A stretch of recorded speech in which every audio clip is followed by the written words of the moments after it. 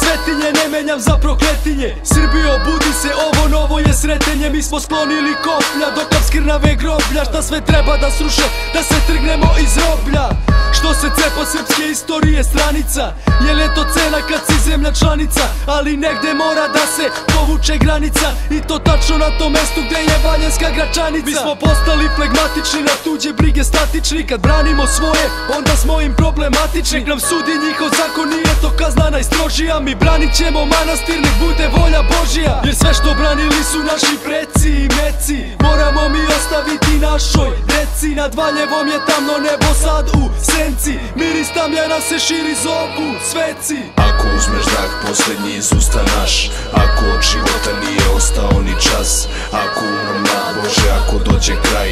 U paklu već sam bio pošalji me u raj. Ako sve što mi je sveto svojim zaboravom ubijem. Budem slepnam nepravdu pa svetom vodom umijem. Progledam i vidim svoje odluke mudrije Oče daj mi duši mira uz posljednje liturgije Odbrana valjanske gračanice svakog dana jača Jer sve više ljudi shvata koliki je njen značaj. Među našim narodom đavo još korača Al se pazi arhangela i plamenog mača. Svaki junak ovog doba nek se hrabro odazove. Zadužbina srpska zove svoje vitezove. Da uđu u mit i budu štit što neće da puca. Da vide svi da ne ugašeno srpsko srce kuca. Oganj pročistit će duše što hoće da nas ruše. I našoj srpskoj braći što pobunu nam guše. Ne dajte se braćo da nas đavo pokoleba Jer mi ovo čuvamo i za vaša pokolenja. To ne može se skriti, vukovi nisu siti Al naš pastir će nas čuvati, on najbolje sve vidi Svi su podjednako bitni, lako je u dobru dobar biti Zato stani s nama i ti. Ako uzmeš dah posljednji iz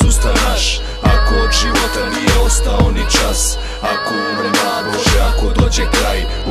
već sam bio pošalji me u raj. Ako sve što mi je sveto svojim zaboravom ubijem.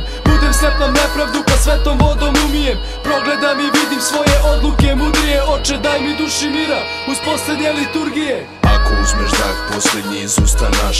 Ako od života nije ostao ni čas.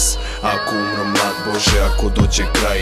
U paklu već sam bio pošalji me u raj